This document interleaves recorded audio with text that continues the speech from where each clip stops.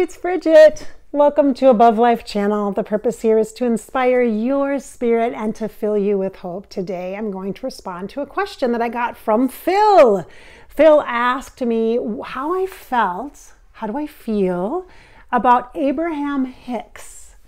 So some of you may hear know that name and know the work of Abraham Hicks, and some of you may not. It might be new to you. But because I'm a channeling video, I think it's a good idea to talk about this particular topic because I do watch Esther Hicks. She is an incredible channel. Amazing.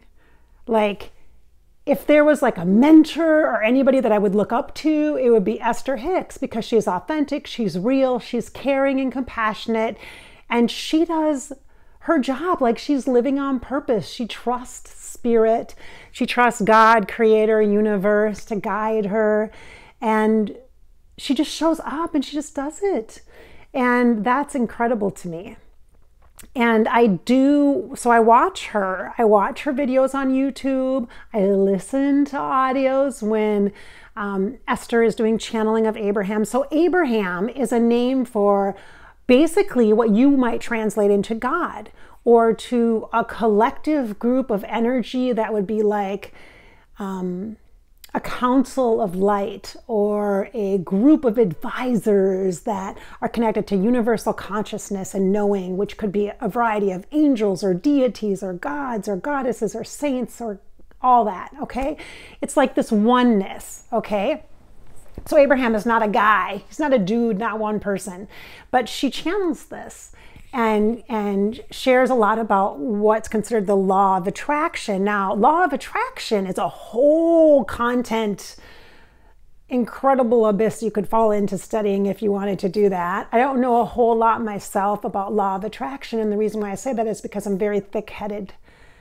I am the first person to admit that my ego mind is a challenge for me because I like I like to have plans and goals and and I'm stubborn and strong willed and independent in ways that are not always helpful for me spiritually and for my spiritual growth. So I'll admit that. But law of attraction is has a ton of different teachers that have spoken about the concepts of law of attraction. There are other people who've talked about law of attraction, like Wayne Dyer, for example, who's also in the afterlife, who I've channeled here at Above Life channel, who has a playlist. Wayne Dyer does. Louise Hay has spoken about um, law of attraction. She also has a playlist here at Above Life channel. If you um, have heard about The Secret or the book The Secret or seen it on Netflix, there are lots of other kind of coaches and spiritual teachers that talk about um, the the principles of, of, attraction, attracting energy. It's not just about money or finances, but that's a big area of content um, for focus. But it can be about health and relationships and just so much about how our energy flows and how our energy works. And it's an incredible body of work. And and I I enjoy Esther Hicks and her channeling and Abraham Hicks. I do enjoy that. I've been able to tap into the energy of Abraham myself for myself. And I, it, it's big. It's like, it's kind of mind blowing for me that and, but it's so that I can't even like use my mind to process it. This is going to be kind of sound weird, but I can't, even though I love to, I'm like, I love college and I'm intellectual in the regard to like I like to learn stuff like that. Like, you know, give me a syllabus, a paper I have to write, give me something I have to read and do a report on, I can do that. But it's very separate kind of. That's a separate part of me than my spiritual work and and my understanding of spirit and energy and all that because it's less tangible, less tactile. And yet when I connect with Abraham Hicks and the energy that that Esther channels, when I'm listening to, there's tons of channels on YouTube that share Esther Hicks stuff. And usually it's in that format of like a rampage where she gets on kind of a thing and she talks to you and you can listen to it and it's 15 minutes long or 30 minutes long and it's awesome. Or where you're listening to a big public group where she is doing a like a seminar or workshop and she travels around the United States and internationally she also does cruises and things like that where there's a group of people and then people ask questions. They get to sit in a hot seat they call it. And so there's there's videos where there's specific topic videos about health or relationships or life after death or spirit guides or money or finding the, your lover or all that kind of stuff. So you can find that all on YouTube, different variations and things, but it's all her work basically, or her her translating the energy of Abraham, right? Co- higher consciousness, right? Love energy and wisdom.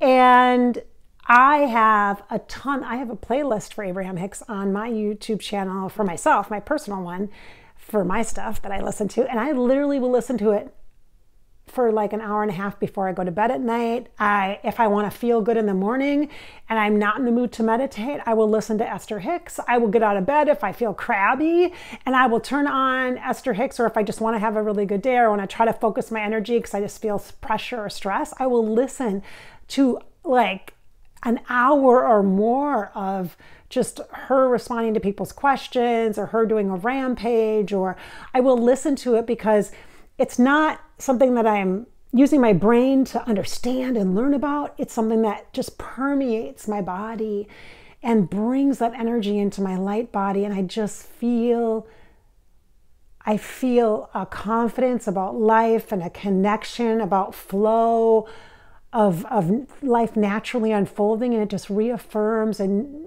nourishes my energy is what it does. It's not intellectual. It's, it's a different experience for me. So I haven't seen her in person yet. It's on my bucket list. I was going to go in May this year of 2020, but now with all the health stuff going on, I'm not going.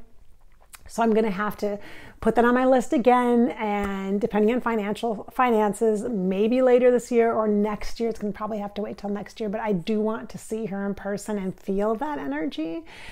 And maybe maybe even meet her. I've never really felt like that way about a spiritual teacher or anybody famous even.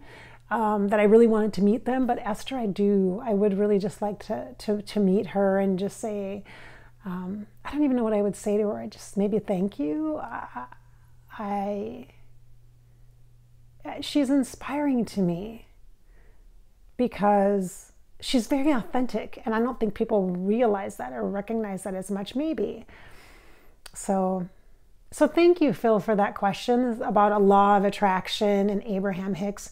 I actually do have some videos about law of attraction. So I've spoken about manifesting with Wayne Dyer. Um, I've spoken to David Bowie about creating. Those things are touching on law of attraction principles. And also, I think I have I have some that I've recorded with Robin Williams too, but I don't know if I've actually shared those publicly. I should I, I recorded them like a year ago, but I don't know if I just did them for a small group. I can't remember, but so there are some um, topics um, on playlists for those those topics as well. So.